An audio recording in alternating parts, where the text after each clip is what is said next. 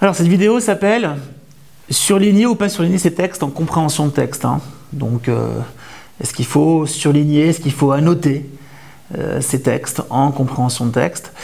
Écoutez, euh, très franchement, ça dépend de chacun. Mais j'ai quand même envie de vous dire une chose. Je trouve que lorsqu'on démarre la lecture d'un texte au Taj-Maj, en le surlignant, en l'annotant tout de suite, on perd de son ADN, de sa moelle. Moi, ce que j'ai envie, c'est que la première fois où vous lisez votre texte, vous soyez juste vous et votre feuille, les mains posées sur la table, pas de stylo, rien. On lit le texte une première fois. Ils sont pas très longs les textes. Ils font quoi Allez, une grosse demi-page, un trois quarts de page, rien de bien méchant. Lisez-le une première fois, sans stylo, sans annotation, sans rien.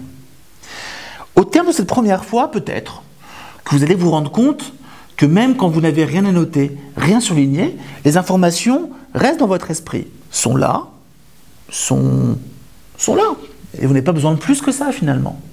Auquel cas, vous attaquez après les questions, vous répondez, et ainsi de suite. Mais ce qui peut être intéressant, c'est lorsque vous allez devoir en fait relire le texte une deuxième fois, ça peut arriver, ça s'arrivera forcément à un moment donné. Et bien là, ça peut être bon d'annoter, d'entourer, parce que vous aurez vu les questions aussi. Donc je répète l'ordre. La première chose qu'on fait, on parcourt l'épreuve en compréhension de texte. Ça, ça vaut pour toutes les épreuves. On parcourt l'épreuve, on regarde combien de textes on a. Bon, il y en aura trois, à part si on fout une surprise ou une mauvaise blague à la FNEJ et qu'ils vous en proposent quatre ou deux. Bah, vaut mieux quand même vérifier avant, hein, ils sont capables de tout. Donc, on parcourt, trois textes, ok.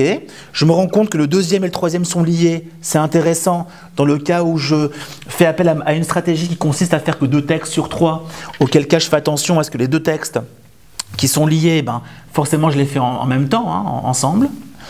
Et ensuite, bah, je regarde mes, questions, je vois, je vois de quelles questions on parle. Si c'est des questions de repérage, où faut chercher un synonyme, si c'est une reformulation, ou si c'est une question de conclusion. Donc il faut faire du repérage. Ensuite, on lit le texte une fois, sans rien à noter. On prend les questions, on y répond.